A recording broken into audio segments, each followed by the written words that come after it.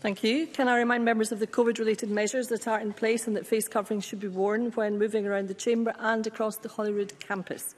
The next item of business is a debate on motion 2552 in the name of Liam Kerr on backing the North East economy and I would invite those members who wish to speak in the debate to please press the request to speak buttons now and I call on Liam Kerr to speak to and to move the motion up to seven minutes please Mr Kerr. Thank you, presiding officer. Last week, in response to someone called Alex Salmon saying that the SNP government has been dragged into student politics that would sacrifice and jeopardise the livelihoods of tens of thousands of Scots, an SNP spokeswoman said that we need to get real on the climate emergency. They were both right. Presiding officer, get real means acknowledging that 78% of Scotland's total energy needs and 91% of its heating are met from oil and gas. Now, obviously, that's fuel, uh, and it's also gas, which heats 24 million UK homes and goes towards making medicines, cosmetics, plastics, cleaning products, clothes, contact lenses. As Gary Smith of the GMB said, gas is a feedstock for the chemical industry, our food supply, our NHS. Patrick Harvey, always keen to remind us he rides a bike, sometimes even the right way up one-way streets, I ask him, what does he think the tyres are made from? Or the oil on the chain? Presiding officer, get real means acknowledging that in all climate change committee scenarios, all net zero compatible incidentally, oil and gas accounts for around half of demand until 2050. Now, we, Scotland, have to get that from somewhere. Much already comes from abroad, from Russia, that famous upholder of regulatory and environmental standards, to whom we paid nearly 4 billion pounds for oil and gas last year. From Qatar, whose 1 billion pounds worth of LNG sold to us has, according to the OGA, more than double the carbon footprint of UK gas.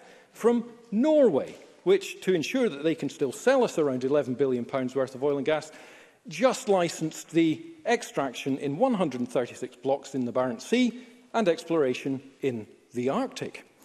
Conversely, Local supply has advantages such as enhancing security of supply, protecting 100,000 jobs, around 65,000 in the North East region, whilst undertaking a fair and managed transition, avoiding inflicting ever higher imported gas prices on the British consumer, plunging ever more of them into fuel poverty, and ensuring we do not offshore our environmental responsibilities to the global south. Presiding officer, get real means not lodging motions referring to just transition funds that just last week the Cabinet Secretary for Finance couldn't tell me any details of to such an extent I've had to write to her. And not repeatedly saying, match that, when anyone with the slightest knowledge of the industry knows the UK government's 16 billion pound North Sea transition deal is happening now and aims to create 40,000 high-quality direct and indirect jobs. It means instead of boasting that offshore wind energy would create 28,000 posts by 2020, then delivering fewer than 2,000. Instead of boasting that there have been 21,000 renewable energy jobs created, but quietly forgetting that 130,000 were promised. It means fronting up, supporting the sector and working with them to develop, deliver an actual transition.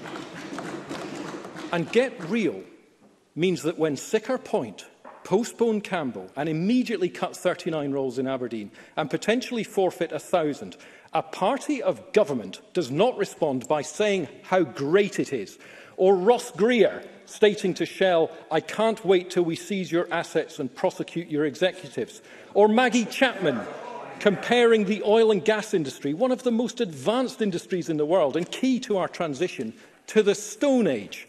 or claiming that supporting oil and gas makes one hard right. And celebrating as tens of thousands face a Christmas fearing for their jobs, their livelihoods and their futures. Presiding officer, arrogance and hubris stalk the Green Party like the jangling chains of Marley's ghost But like the ghost, the people of Scotland will see right through them. Mr Harvey. Patrick, uh, Harvey. I'm grateful to the member for giving way, and he can quote people out of context all he likes. But will he not, will he not acknowledge, as a matter of fact, that political parties of the left, centre and centre-right and even lifelong Conservatives like John Gummer have already got real and recognised that everlasting expansion of oil and gas extraction is not compatible with a serious response on the climate emergency. Liam Kerr. I am disappointed that the Minister has completely failed to miss my point. Nobody is arguing for unlimited oil and gas. The Minister has quite clearly failed to listen, just as he failed to listen to the oil and gas industry and indeed most of the environmental industry telling him something different.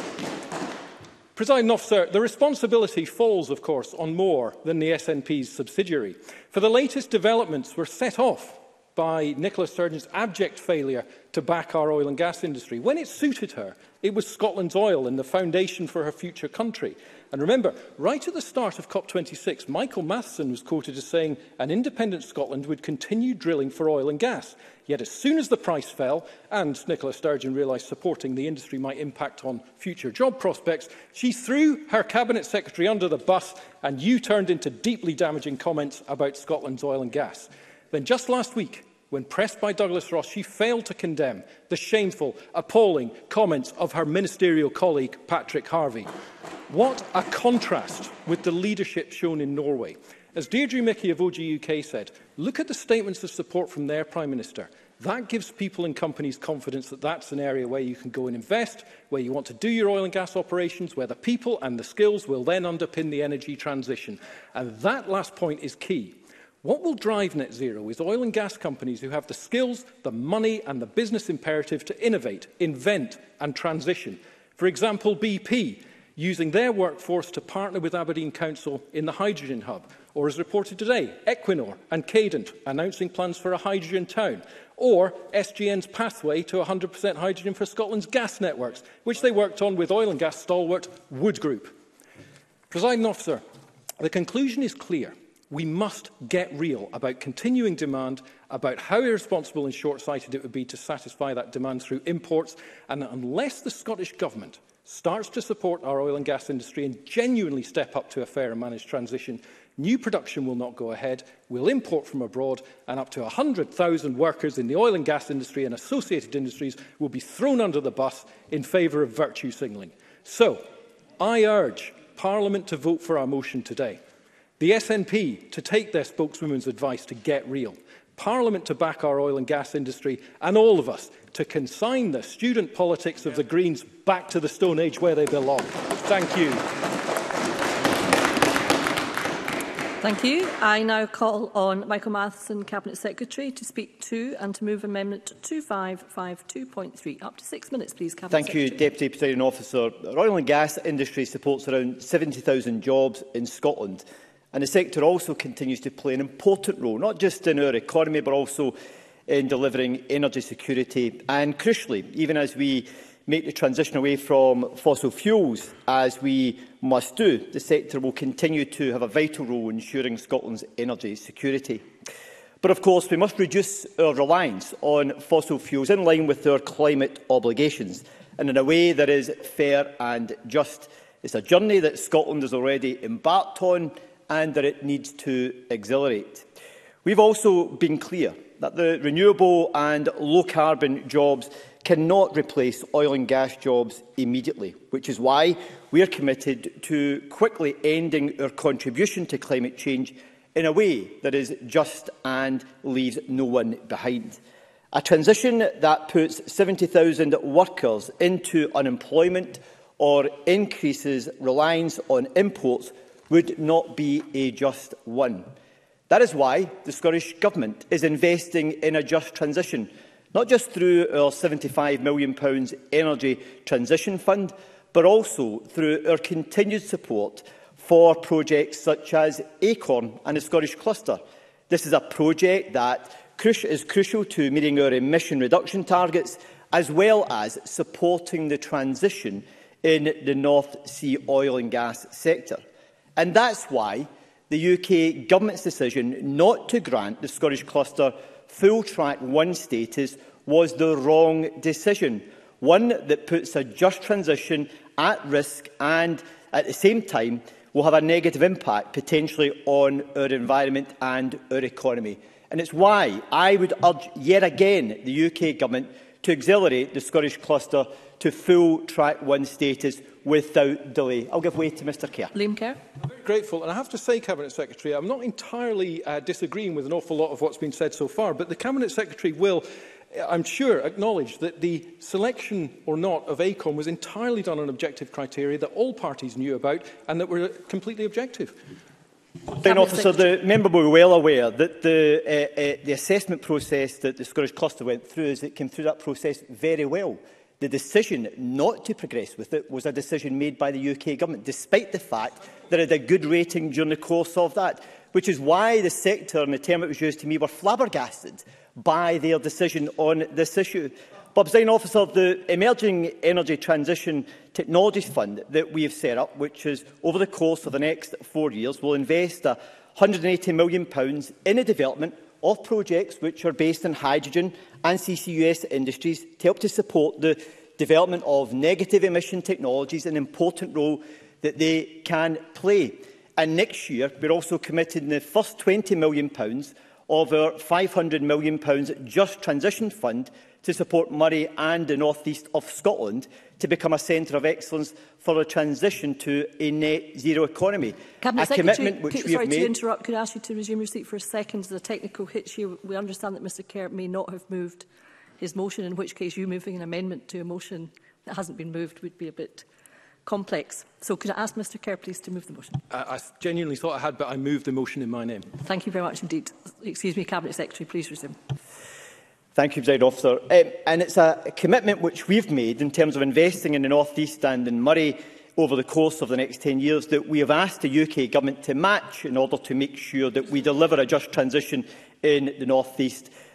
But Scotland also has some of the best offshore wind resources anywhere in Europe. The Crown Estate in Scotland, the current leasing round under ScotWind, is an opportunity for us to be the first mover in advantage around floating wind projects anywhere in the world.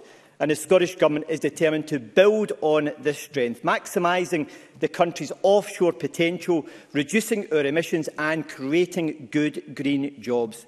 And in 2020, Scotland generated some 940 megawatts of offshore wind alone. And the recent announcement we had of a new manufacturing factory in NIG is a great example of that, a location which is long associated with the oil and gas industry.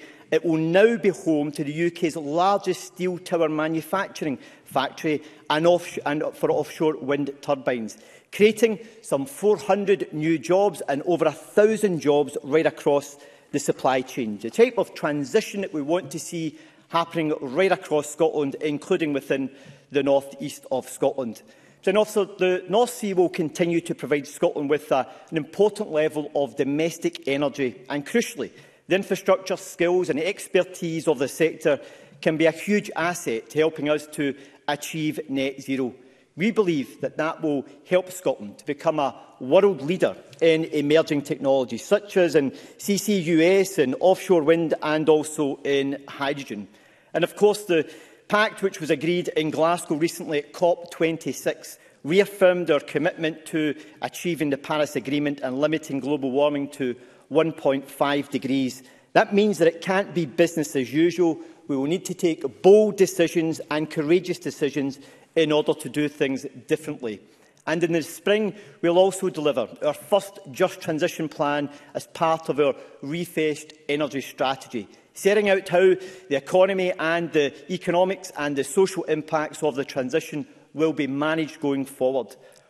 Work to encourage and to collaborate with those who will stand the most to be impacted by the transition will be engaged in that process early in the new year. Then, officer, I believe that by working in partnership with our oil and gas sector and with the wider energy sector in Scotland, we can ensure a prosperous and a sustainable future for this and for future generations, for the northeast of Scotland and beyond. And I move the amendment in my name. Thank you. And before I call the next uh, speaker, Could I just remind all members who wish to speak in the debate to please ensure that they have pressed the request to speak button and I call Colin Smith to speak to and to move amendment 2552.2 up to five minutes please Mr Smith. Thank you President Officer. We are on borrowed time if we've to stop the climate emergency becoming a climate catastrophe but we're also on borrowed time if we are to stop that climate crisis also becoming a jobs crisis. As have heard already, the oil and gas sector supports around 70,000 jobs in Scotland, most in the North East, 28,000 alone in Aberdeen, 10,000 in Aberdeenshire, but also high-wage jobs across the whole country, including over 1,000 in my own South Scotland region. The industry is worth £19 billion a year in gross value added. That's 12% of the Scottish economy. And again, the impact is greatest in the North East, generating £14.6 billion in Aberdeen and more than £4 billion in neighbouring Aberdeenshire, but also £106 million is generated across the Highlands in Murray, Orkney, Shetland from the sector and 39 million in South Scotland.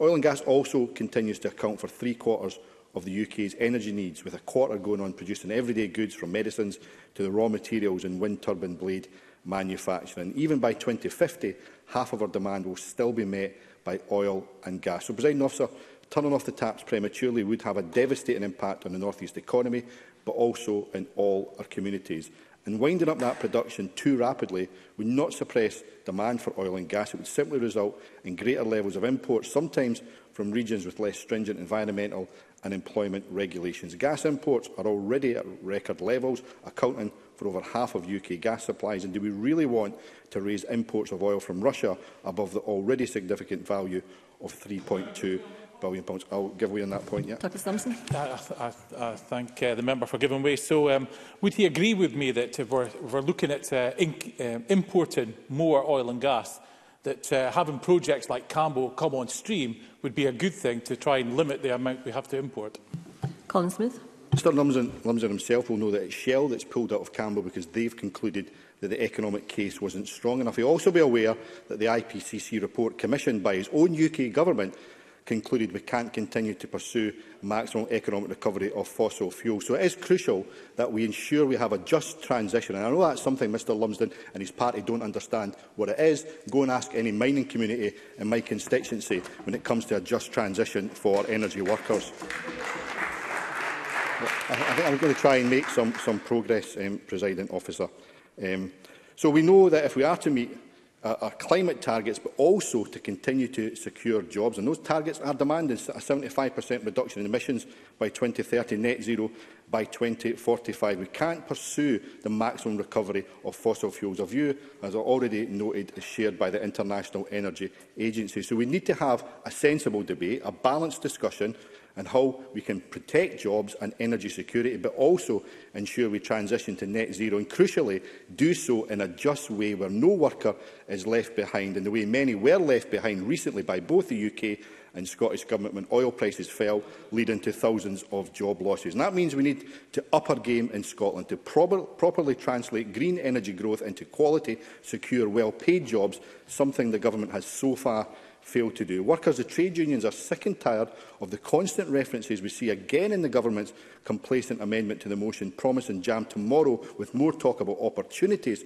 for jobs in the renewable sector. They've heard it all before, frankly. We all remember Alex Salmon promising those opportunities. will be the Saudi Arabia of renewables, he told us. Yet a decade on from the SNP pledging in their low-carbon economy strategy annual growth of 4% a year to 130,000 green jobs by 2020. The number directly employed in low carbon and renewable economy is just 21,400, the lowest since 2014. President Officer, I'll take an intervention on that. if I can get the time back. Uh, I'm very grateful. And, uh, and again, I, I, I can associate myself with an awful lot of his comments. But does he support his colleague Monica Lennon's motion, which effectively turns off the taps prematurely, as he rightly fears? Colin Smith. There's nobody proposing in this side to turn off the taps prematurely. We need, but what we do need to do, what we do need to do, is to start to learn the lessons of the past, the lessons when it came to the closure of our mines, the lessons most recently when it came to a decade of missed opportunities in securing offshore wind contracts for Scottish manufacturing. What we need is a bold industrial strategy that lays out how domestic manufacturing capacity must evolve to ensure the growth in domestic renewable energy production actually begins to translate into new jobs in Scotland. That means both governments, instead of bickering, working together. We shouldn't be signing contracts, for example, for offshore wind farms without a proper plan for supply chain manufacturing and ambitious conditions on job creation in Scotland, something the UK government missed recently when it came to their announcement on funding for renewable energy. And we cannot repeat those past failures to recognise the manufacturing benefits of renewables by now failing to recognise the job opportunities that are emerging from the tens of billions of pounds of decommissioning work that will be needed in the North Sea in the decades ahead. Scotland's fabrication and decommissioning industries should be supported by requiring a significant proportion of local procurement from oil companies operating in the UK continental shelf region. That's what a proper just transition is, supported by a Just Transition Commission with statutory backing. That transition needs to be also a jobs-first, worker-led one, with a relentless focus on securing meaningful, well-paid, unionised jobs that are good for people and good for our planet. And that means a partnership approach. Mr Smith, I think government. I've given you the time back for the intervention, so if we could bring the remarks sure. to a close, please. Thank no you. problem at all. That means a partnership approach between government and those workers most affected. President Officer, To avoid any technical problems, I'm happy to move Labour's amendment in my name, but also make clear that we cannot allow workers and communities to be left on the unemployment scrap heap as we transition to a modern low-carbon economy. And our amendment recognises that transition can only be just when workers have a say in their futures, on Thank their you. livelihood Mr. Smith, and their you really climate. Are quite Thank time. you. Uh, Liz Smith, point of order. I'm sorry to interrupt the debate, uh, Deputy Presiding Officer, but it's my understanding that there's quite a lot of members uh, across all the political parties who are having great difficulty in being able to access this debate online because Blue Jean seems to have uh, frozen. I know that was a problem in the previous question time. Could that be investigated, please? I understand it is being investigated urgently, uh, the point that Liz Smith makes and draws our attention to, and that people, I think, are being advised to watch proceedings on Scottish Parliament television. Ms Smith, a further point uh, of order. A, a, a second point. It, would it be possible to have a short suspension until it's short, uh, sorted? Because obviously there are some members who would like to participate. Yeah.